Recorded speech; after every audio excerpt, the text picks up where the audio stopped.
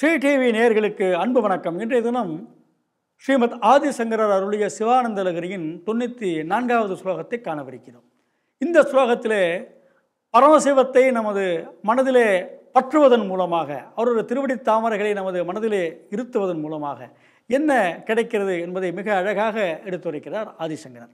இதற்கான சம்ஸ்கிருத ஸ்லோகத்தை முதலில் காண்போம்.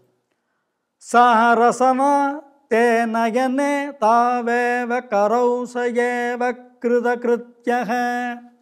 யாய யௌ யோ பருகம். வததி கேதே சதார்ச்சதஸ்மரதி. என்கிறார். இதற்கான தமிழ் சிகில் வடிவத்தையும் காண்போம். பரசிவம் பேசும் நாவே நாவு. பரசிவம் காணும் விழியே விழிகள். பரசிவ பூஜை செய்வதே கரங்கள் பரசிவம் கருதுதல் வாழ்க்கை பயனே என்கிறார்.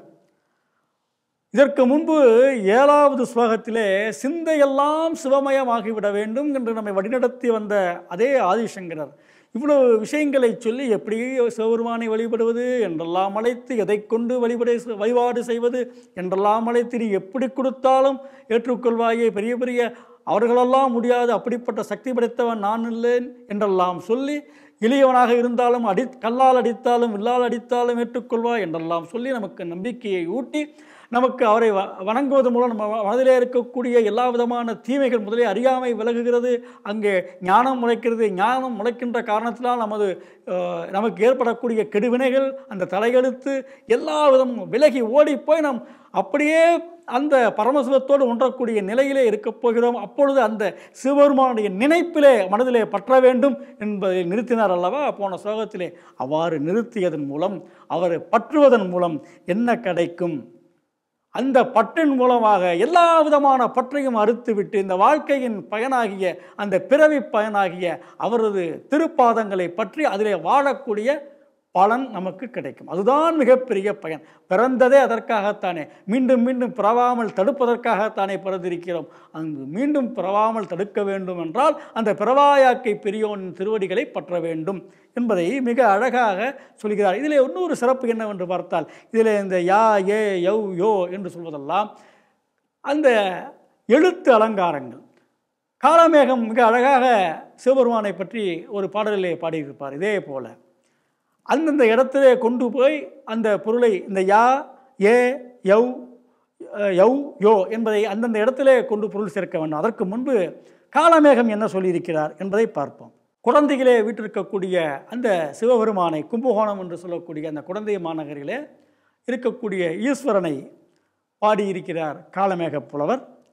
ஓ காமா வீதோ உரைப்பன் டூ டூ டூ டூ நாகார் குடந்தை நகர்க்கிறைவர் வாகா எடுப்பர் நடமிடுவர் ஏறுவர் அன்பர்க்கு கொடுப்பர் அணிவர் குழைக்கு என்று சொல்கிறார். அது என்னது?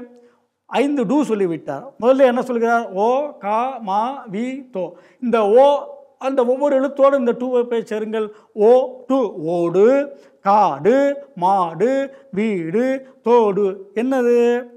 முதலில் எடுப்பர். அந்த கையிலே எடுக்கக்கூடியது சிவபெருமான் இருக்கக்கூடியது ஓடு திருவோடு.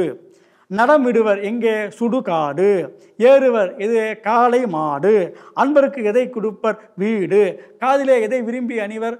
தோடு. தோடு உடைய செவியன். என்று என்று அழகாக பாடியிருப்பார் கால காலமேக பெருமாள். அதே போல் இங்கே ஆதிசங்கரரும் அதே போன்ற உத்திகளை அதற்கு முன்பாகவே கையாண்டிருக்கிறார். எவ்வாறு சொல்லியிருக்கிறார் என்பதை இப்பொழுது பார்ப்போம். யா என்பதை எங்கே சேர்க்க வேண்டும்? யா வததி எது பேசுகிறதோ?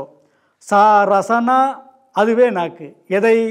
பர்கம். எல்லாவற்றுக்கும் முன்னாடி பர்கம். பர்கம் என்று சொன்னால் என்ன? பரமசிவனை பர்கக என்றால் பரமசிவனுடைய ஒரு பெயர் பர்கம். அந்த பர்கம் என்று சொன்னால் பரமசிவனை பர்கக சிவபெருமான். பர்க பர்கம் என்று சொல்லும்போது பரமசிவனை. யா வததி எது பேசுகிறதோ சா ரசனா அதுதான் நாக்கு சிவபெருமானை பற்றி புகழ்ந்து எது பாடுகிறதோ அவருடைய திவ்ய கதைகளை எது உரைக்கிறதோ அதுதான் நாக்கு. மற்றவையெல்லாம் நாக்கு கிடையாது. கண்டதையும் தின்றுவிட்டு கண்ட விஷயங்களையும் பேசிக்கொண்டிருப்பது நாவல்ல. சிவபெருமானை பற்றி உரைப்பது மட்டுமே நாக்கு. ஏ ஈக்ஷதே. எவை காண்கின்றனவோ சிவபெருமானை எது காண்கின்றனவோ தேனயனே.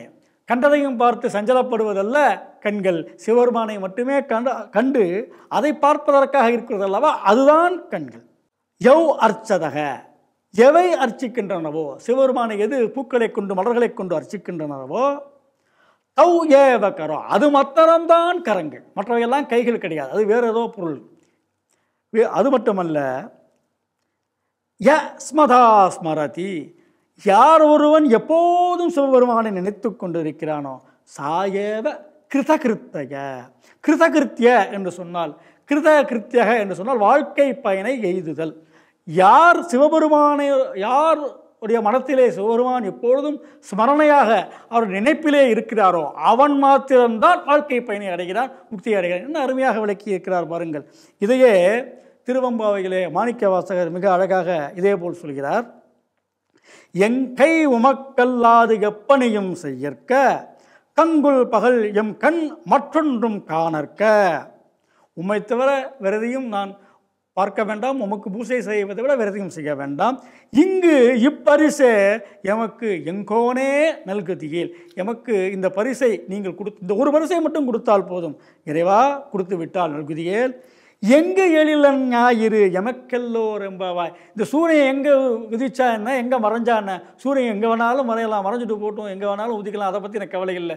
ஏனென்றால் மிகப்பெரிய ஞான சூரியனாகிய நீ என் மனதிலே நிலைபெற்று விட்டால் எனக்கு வாழ்க்கை பயன் கிடைத்து விடும் என்று சொன்னாரோ அதே போல கிருதகிருத்தியனாக ஆவதற்கு வாழ்க்கை பயனை அடைந்தவனாக ஆவதற்கு பரமசிவனை நினை பரமசிவனை கான் பரமசிவனை பேசு என்று மிக அழகாக சொல்லியிருக்கிறார். ஆதிசங்கரர் நாளைய தினம் மற்றொரு ஸ்லோகத்தை காணும் வரை உங்களிடமிருந்து நன்றி கூறி விடைபெறுவது உங்களது அன்புக்கினிய பத்மன். நன்றி வணக்கம்.